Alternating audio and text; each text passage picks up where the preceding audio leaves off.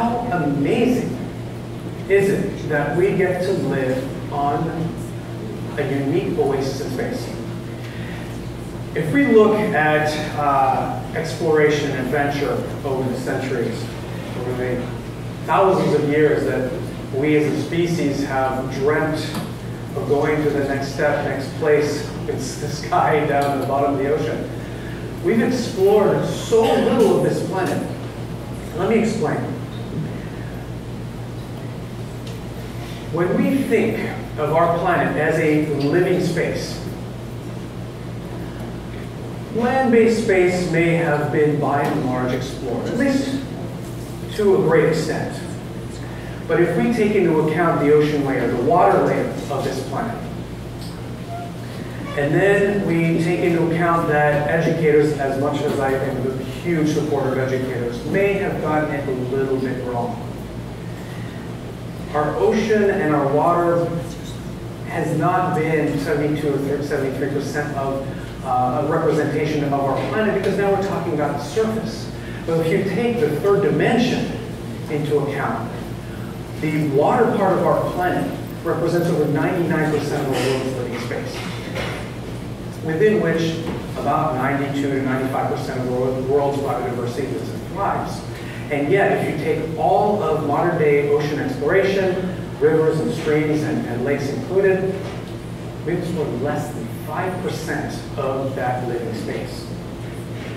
So despite the fact that you may have heard uh, and seen wonderful stories of exploration, thanks to Discovery Channel, Nat Geo, BBC, and folks like uh, my grandfather and many others, we've, we have yet a lot to explore. And that's what really excites me.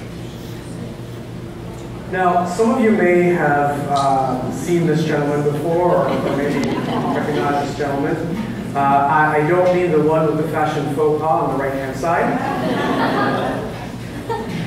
Uh, the one in the middle was, in fact, yes, my grandfather, Jacques Cousteau. And uh, for those uh, in the audience who may be a little too young to have seen him on television, maybe you can still catch him on YouTube uh, or other uh, social media networks. Uh, he was a pioneer, an out-of-the-box thinker, someone that was frustrated with the limitations of technology and being able to go further, longer, and deeper. And so with that said, uh, being a filmmaker first and foremost, as a young boy and growing up into an adult, and then being introduced to the ocean world uh, throughout the, his, his life in the Navy, and even beyond with two of his uh, best friends, uh, Frédéric Dumas and Capitaine Tailliez. He was fascinated with the underwater world and was, was always uh, eager to go beyond where we could go with that technology at that time. Hence the invention of the scuba or the regulator and many other things, the underwater submersibles for underwater habitats, for underwater camera housings, uh, sites sonar, uh, many, many, many other things that would allow he and his crew, and my grandmother, uh, to go and circumnavigate the planet and go to places that have never been explored. And for over five decades, 134 documentaries, and hopefully hundreds of millions of people around the world were uh, inspired by all of this. Now, some of you that I've gotten uh, the honor of meeting tonight have expressed that you remember fondly those days of the Sunday nights at 8 p.m. when the Undersea World of Jacques Cousteau uh, was on television. It was, uh, it was quite a, a, phenomenal way to grow up, one that I cherish greatly, and um, in some ways I blame uh, for my ocean addiction. When I was a little boy, not much bigger than you, I got a chance uh, of a lifetime. My grandfather uh, was at my birthday, my father, my mother, my, my grandmother, and my father came up to me and said, Fabien, qu'est-ce que tu as fait pour ton anniversaire pour déjeuner? Fabien, what would you like for, for lunch for your birthday? You know, friends were around and we were in uh, uh, this exotic place called Los Angeles. and as a very uh, good French boy, um, uh, loving food, I said, Papa, Kentucky Fried Chicken. and and so my father dismayed, stunned really, uh, went off to look for this bucket of mythical Kentucky Fried Chicken in the basin of Los Angeles. Uh, by the time I came back, he came back. I was at the bottom of the pool, buddy, breathing with a family friend. And my family, having seen that, had subsequently given me uh, a small 40 bottle with a regulator and a suicide strap. Uh, very bad name for it, but it's a strap that doesn't allow you to take the mouthpiece out of your mouth. Uh, and uh, off we went to the Channel Islands to go diving. And being able to dive in this alien world and be mesmerized by all these strange creatures, these flashes of color, this just fireworks display of life was mesmerizing to me. The Channel Islands, for example, is if you hit it on a good day and you go through the kelp forest, it looks like a cathedral with the light rays going through the, uh, the rosettes and everything else, and it's just such an amazing, amazing, amazing place. And so I've gotten addicted to this for many years since.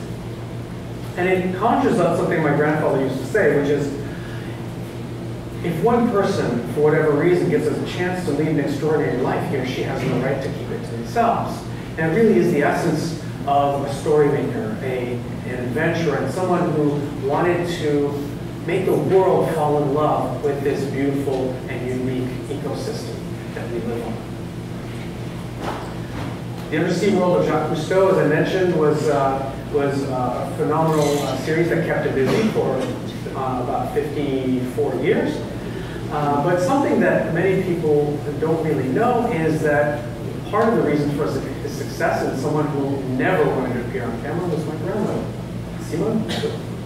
Simone Cousteau was the daughter of an admiral, the granddaughter of an admiral, and she herself wanted to be uh, in the Navy. Unfortunately, they didn't allow uh, women in those days to join, and so uh, her solace or her revenge was to be uh, the true captain of Calypso. she spent more time on Calypso than my father, my uncle, and my grandfather combined. And believe me, she was a tough lady, and she was really the reason why my grandfather was so successful.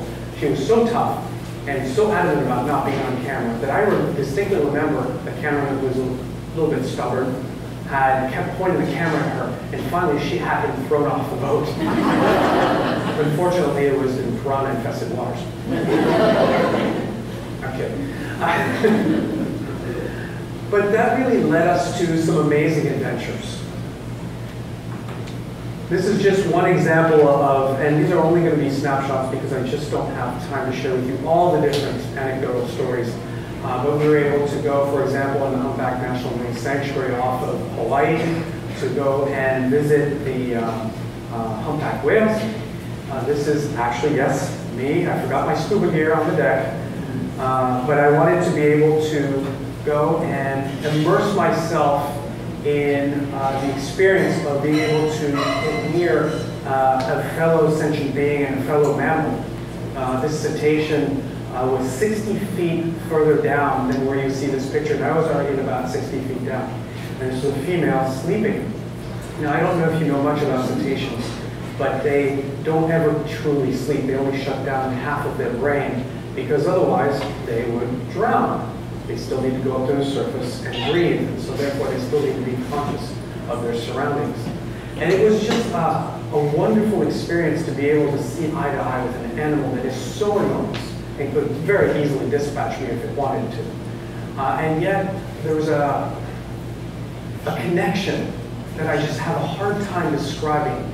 If you ever get a chance to do the same, you'll know what I mean. But there was a, an emotional and intellectual connection that, that fills your soul and proves to you that there are intelligent creatures, arguably more intelligent than we are, out there in our planet, our own planet.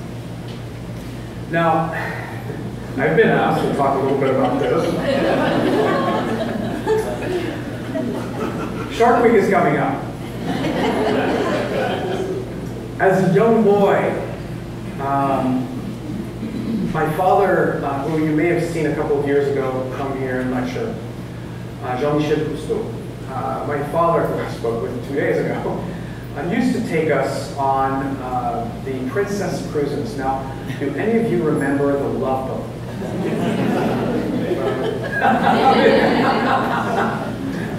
Have you meant Julie, the cruise ship, correct.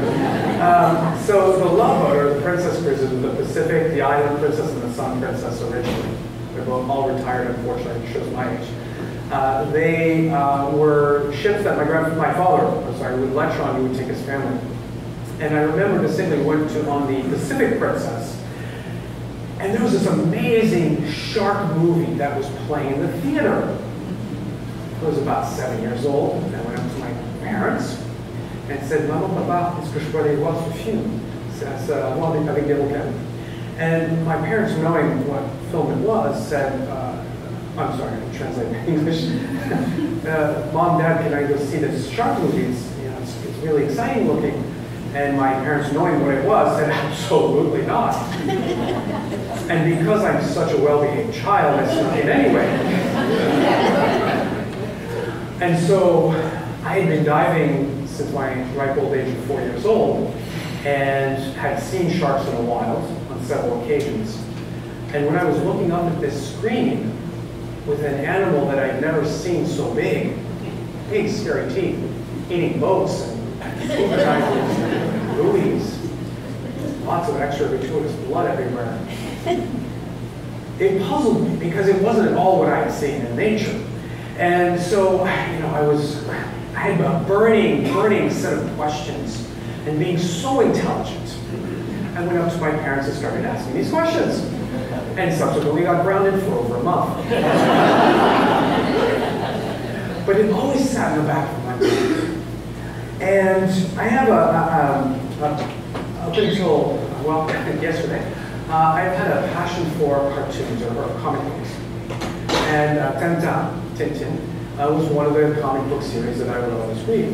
And Tintin, Trésor de Rackham's treasure, I've always loved because it was you know, on the front cover you see Tintin and his dog Milou, or Snowy, I think you call him in English, in a shark-shaped submarine swimming in the depths. And so I always thought that was cool. And I married those two concepts together one day, a few years ago. You know, we see Shark Week, we see the Nat Geo special, we see all these shark shows all over the place. And they're always the same thing. The ugly, bubbly creatures in the cage, throwing chum at the animals, the animals coming up, doing the big bite thing, you know, great for our cameras, great for sensationalism, but it really doesn't give you that much data on what these animals do when we're not around. You're basically teaching to do circus tricks. And so why not build a shark-shaped submarine to camouflage yourselves as one of them? Seems simple enough, right? Now, in lieu of time, I didn't bring the video, or I didn't put the, the video on this one, but I'll, I'll summarize it for you. It, it, was a show that ended up on CBS uh, prime time, which was the first time in over two decades that a natural history documentary was on a network in the United States, one of four networks—and it got a great rating. We, we got beaten by Dancing with the Stars, unfortunately. but overall, it did really well. And, and, the premise was really kind of sneaking science through the back door and using this vehicle to go to an island called Isla Guadalupe, which is full and rife of great white sharks, to go and swim amongst them as one of them. Unfortunately, technology is a, a difficult thing to wrangle as compared to white sharks. And half the time, the submarine, the submersible, ended up on the bottom or skyrocketing on the surface. and this uh, intrepid, uh, maybe some would say idiotic, uh, person who invented or, or, thought of this idea in the first place uh, would end up outside the sub in shark-infested waters. So, needless to say, if you have dreams, uh, think them through. but the short of it is, uh, I, when the submarine worked properly and uh, no one got hurt, but when the submarine uh, worked properly, we were able to look at the um, uh, communications behavior of white sharks, which was really fascinating. The grimacing, the eye roll movement, the, movement, the, flexing of the pectoral fins, uh, the positioning in the water, all within the proximity of this white shark uh, submarine. Now, I would never, if there are researchers in the group, uh, this is task awaiting. You're on a rebreather, you're testing, you're using a animatronic animal that's propelled by fish propulsion through pneumatic systems uh, that break every other time. Uh, the comms were out 65% of the time, so I couldn't communicate to my service team, despite the fact I was pinned to the bottom. Uh, there was one time where uh, I decided, hey, this is working great enough. Let's do this at night. Why not? I mean, you know, as if it, difficulties weren't enough. Uh, and uh, that was really the crux of what CBS latched onto, and, and we really stuck as much of the, uh, the, the shark, shark uh, or ichthyology uh, science uh, through the back or through that. But I did get stuck at the bottom one time. one of the pneumatic lines broke. the surface team, of course, typically, as everything happens, you know, if something goes wrong, everything goes wrong. Comms went out, and I was basically alone at the bottom of the sea. or my other option was to float to the surface and float out to the Pacific forever.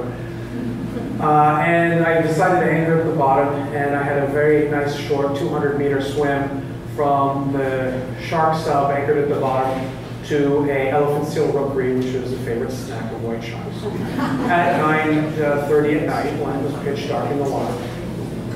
So I think, you know, someone was asking me earlier, were you ever afraid uh, of anything in the water? And usually I'll say, yes, human beings. Uh, typically is what I'm afraid of in the water. But in this particular case, it was probably the closest to that uh, uncertainty. Uh, and I even bumped into a bull elephant seal underwater that evening, which certainly made me think twice about doing it again. Especially after the next day when I saw a bull elephant seal's head bobbing on the surface, uh, presumably a shark snack. Uh, and these are 300, uh, 3,000 pound animals, so you can imagine but anyway, on to the next one. So that was Mind of a Demon, and, and it was, uh, to me, was a testament to the fact that people still loved animals, even sharks that have been over, over discussed, um, and uh, something that we can bring the general public in, regardless of what the audience is, whether they're uh, shark fanatics or people who never watched a documentary in the first place, provided you know how to address the topic and bring the viewership in in an appropriate way. Sometimes we play with uh, fun animals uh, in rivers. Uh, this is a caiman uh, in the Amazon River. Uh, this particular little critter is uh, flanked by the three Cousteaus. the gentleman with the funny hair in the middle is my father, who you've probably met. And, you know, it's, it's really about being able to tell a narrative that brings in the human adventure, the human adventure into these strange and, and mysterious places, not only to inspire young people to go out there and have their own adventures, but just as importantly to connect the importance of this amazing miracle we call planet Earth, which should actually be called planet Ocean. We've occasionally had the opportunity uh, in some unfortunate circumstances to um, help uh, some experts rescue animals. Uh, that's not our job. Uh, our job is to uh, make stories and, and, and share them with the world as much as possible, uh, create education opportunities for people to really get immersed in the experiences. But in this particular case, there was a baby orca that got stranded in uh, the North Island of New Zealand. And uh, Dr. Ingrid Visser, an orca-biologist, had asked for our help to help transport her from one side of the island to the other. And we held vigil all night long to make sure that she was as comfortable as possible uh, before we released her on the other side of the island, presumably to, um, to release her uh, with her pod.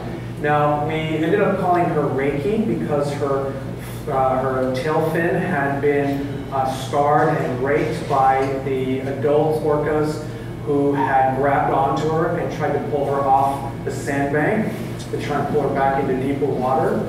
Uh, so she does have some scars there. Uh, but she's also the culprit for having two of our expedition team end up getting married right then and there, thanks to Rakey and their rings. actually, when you put them together, the wedding rings have the same rake marks on her back uh, tail on their rings. So we do uh, tend to get very close to our subjects, both emotionally and. Um, a couple of years ago, another crazy idea came to me uh, that was a dream from uh, when I was a boy. My grandfather built uh, some of the first underwater habitats. And for those who don't know what that is, an underwater habitat is essentially a house underwater. It's used typically um, as a uh, research lab uh, or for certain experiments. Uh, and there was, up until this year, only one remaining underwater research station in the world, and that was called Aquarius. Aquarius is nine miles offshore of the Florida Keys and 20,000 millimeters down, as one of our scientists said, which is 20, the fancy was saying 20 meters or 60 feet, 65 feet. And I had a chance to visit um, her deepness, uh, a friend of the family's uh, by the name of Dr. Sylvia Earle, who I've known since I was four. And um, I, she was trying to save Aquarius back in 2012 when uh, NOAA was going to pull the habitat out. And it conjured back up the old stories that my grandfather had about living underwater. Like an astronaut lives in an international space station, living underwater in a habitat is like being uh, an aquanaut. Uh, the same extreme challenges are, are, there, and there are, of course, some extra parameters. For example, we're under pressure, as uh, astronauts are, without uh, pressure, but certainly uh, not more than 14.7 psi. And it, was, it was always an interesting thing. I always loved the idea of having that tool at our disposal, because as opposed to uh, land-based uh, studies of the ocean or of water systems, as opposed to being on a boat, as opposed to sending out an ROV or an AUV, going in a submersible. Being an aquanaut gives you one thing that none of those other tools give you, the luxury of time. Because as an aquanaut, you saturate. You, the definition of an aquanaut is being at pressure depth for over 24 hours. Aquarius is a very luxurious 600 internal square feet, or about the size of a New York City apartment, within which six aquanauts live. Very cozy, uh, none of the luxuries of home. uh, we were able to uh, use the galley, of course, which is basically a microwave or hot water, and eat astronaut food for 31 days, which as a French person is probably the hardest thing I had to do. But with that said, uh, even though it's only 60 feet down, as you are saturated there, as opposed to a scuba diver, when you're taught to scuba dive, you're taught that the surface is your safe zone. If there's a problem, go to the surface. As an aquanaut, absolutely not. It's the other way around. The, the habitat is your safe zone. You're not allowed to go up to the surface. Because if you do, within 15 minutes, nasty little things happen like paralysis and death. So what that does allow you to do, though, as opposed to surface-based research or even exploration, is it gave us that luxury of time. As a very basic example, during those 31 days in that very comfortable location, we were able to scuba dive on average 10 to 12 hours a day each. Basically had unlimited time. And that allows us to go even wander further down into the ravine, 150 feet, five and a half hours, no deco time. Uh, and so on and so forth. And that really gives you much more immersive experience and much more ability to study that local ecosystem, to extract the, the data that you need and analyze it back in the lab within the habitat. So uh, I, I, won't go into too many details. Maybe for the Q&A I'll be able to answer some questions. I'm sure one of the kids here will ask us, uh, ask me how uh, we went to the bathroom, which is a good question. So I just got that question. Uh, but there are a lot of really interesting uh, experiments there. But that said, I want to share with you a one and a half minute piece that kind of summarizes Mission 31, where we say 31 days at the world's last remaining underwater habitat.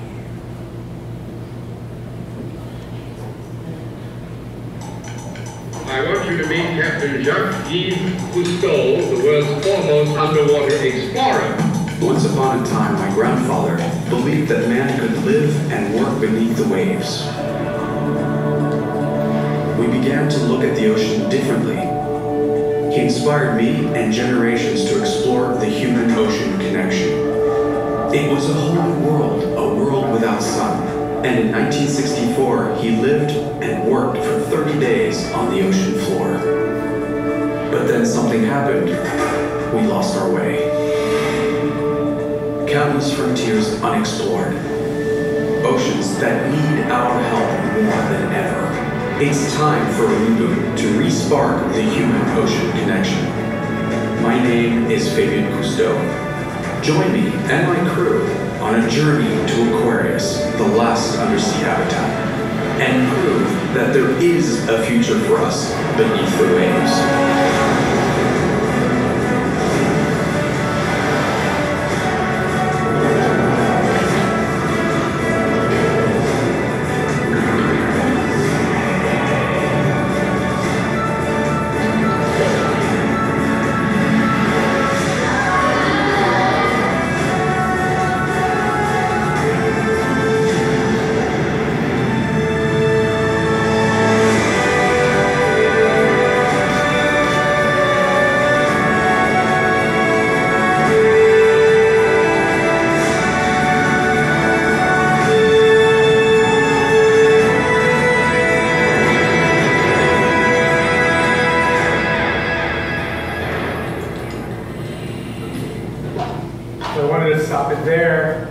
Simply to talk about uh, the fact that the future of uh, ocean exploration and exploration in our water bodies in general is a very bright one and one that will give us uh, the ability to offer all sorts of careers to the uh, young and up and coming. And some of the folks who are already studying this uh, today, I had the pleasure of meeting some of them uh, in one of your local ecosystems.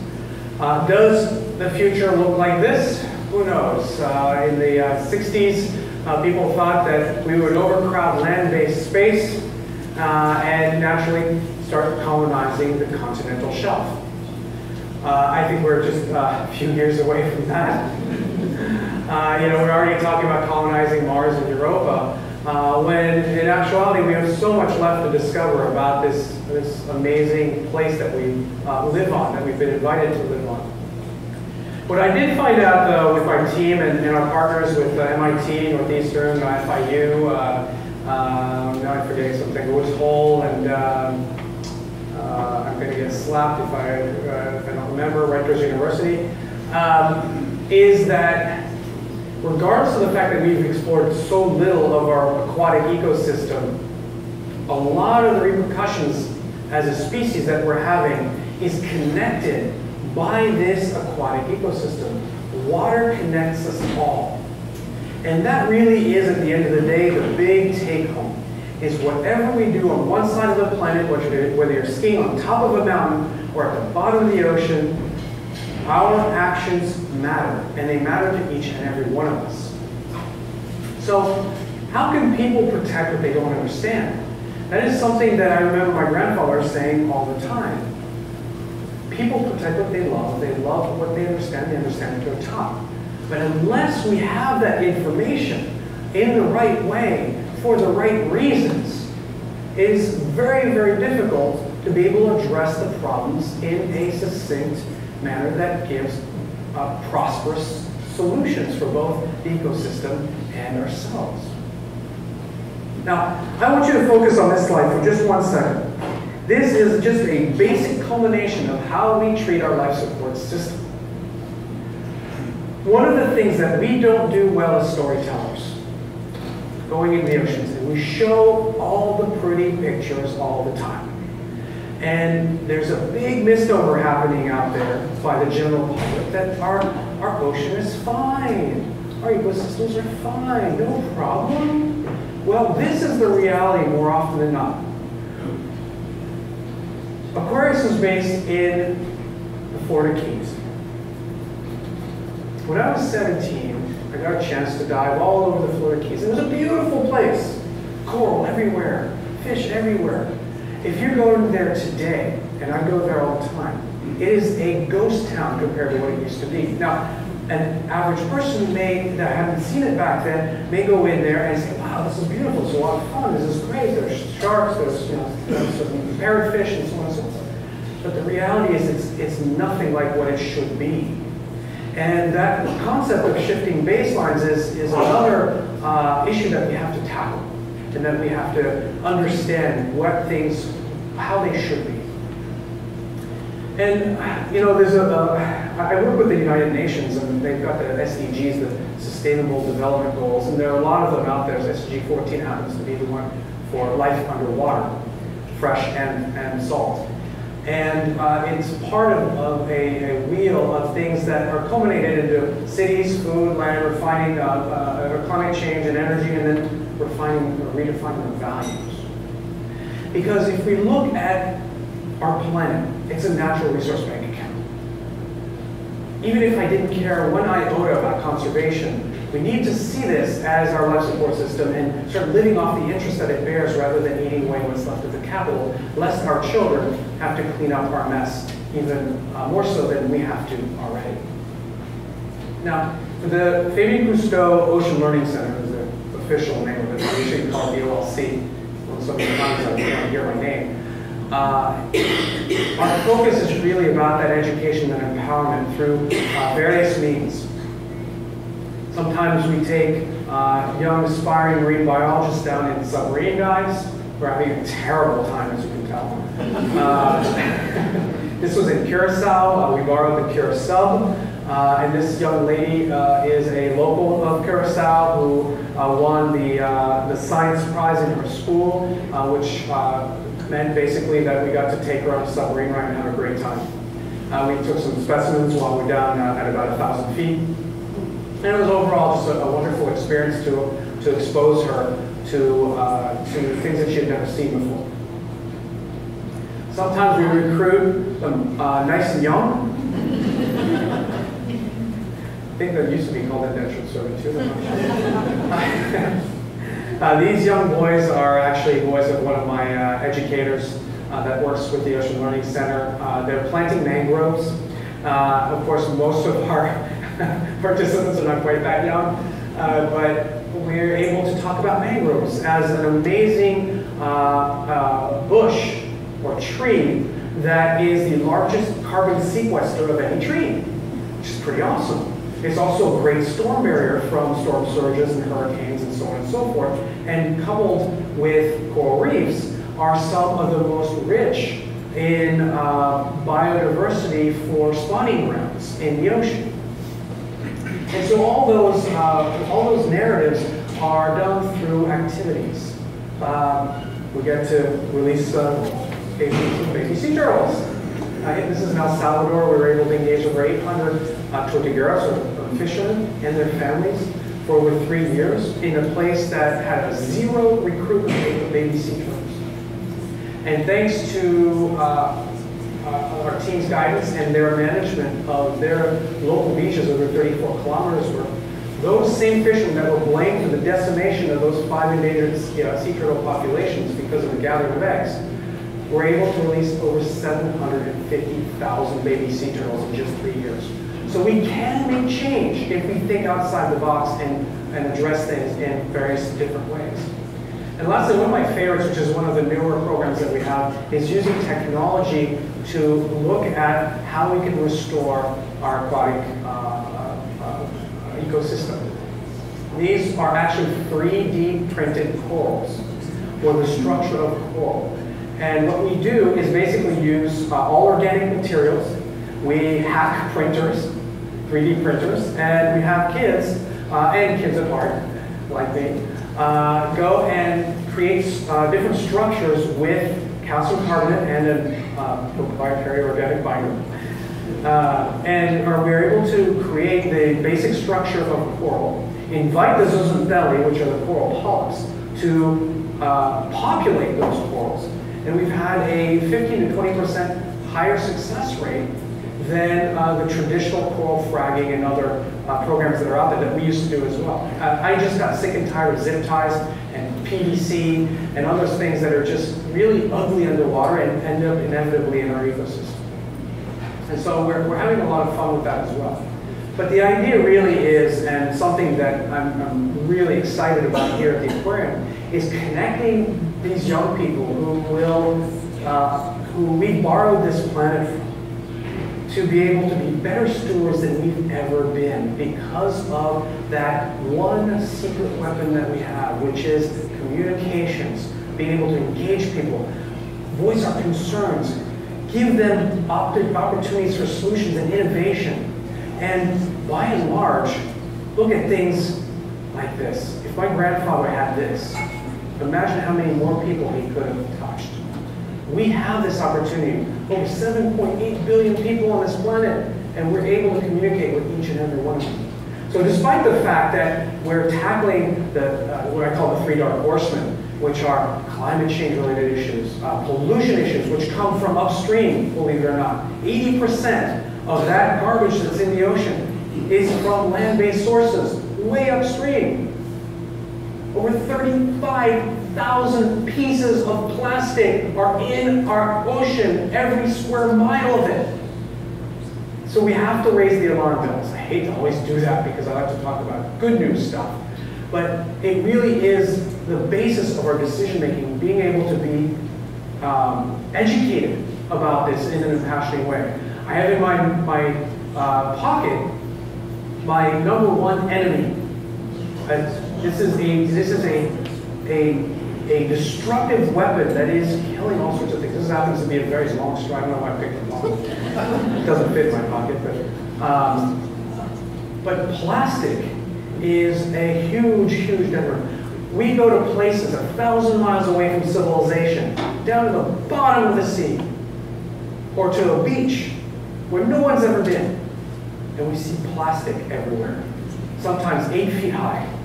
In the ocean, in the gyres, in certain places, you see plastic 90 feet thick. And in other places, it's a soup so fine you can't even see it. But here's the problem. Animals eat that stuff. And then we eat the sea life. So by the, at the end of the day, even if you don't care about biodiversity, which I'm sure everyone here does because you're out of the aquarium after all, we are eating our own garbage. That's kind of gross. So maybe we can make better decisions. Our single-use plastics is an easy one to solve if we all band together and do it. Imagine all these people in this room. You, you know, the average person in America consumes over eight pieces of single-use plastics every single day. Use it and discard, use it and discard. Thing that's, things that are made to last 500 years or more that we use for 30 seconds, 30 minutes or less. We can at least get rid of at least one per day, I would hope. And look how much of a positive impact we have. And I commend the, uh, the aquarium for uh, not offering straws and plastic um, uh, on, that, on that account. And this is really, I, I love this picture because this shows how we are all connected. The, this is a, a rendering, I'm sorry, I'll step down so you all can see them all. This is a rendering of all the different river systems in the United States alone. Of course, they all end up in the ocean. And this, these are the veins, these are the roots of our aquatic planet. And so, with that said, it's of paramount importance that we take care of our freshwater bodies. And as was mentioned before, I don't think uh, you saw this picture, guys, but this was a picture we took. Uh, I'm sorry, I took this afternoon with my little GoPro of all the uh, troublemakers of the aquarium and the institute. But we had such a great time. What was the river's name again? I keep forgetting where. Kind of sorry. Uh, it was a phenomenal place. I don't know if anyone of you has gone snorkeling there, but wow! I mean, I, the river tasted good. Now, I've gone diving in the Hudson River. I've gone diving in the Mississippi. Gone diving in other, the Yangtze and other things. I gotta tell you, you have the best, best tasting river I've ever tasted. And more so than that, it was crystal clear and there was life everywhere, fish everywhere. And that's just a testament to showing how things can happen if we all make an effort to make sure that this is there for these guys. And that is just an amazing, amazing thing. And so with that said, water connects us all.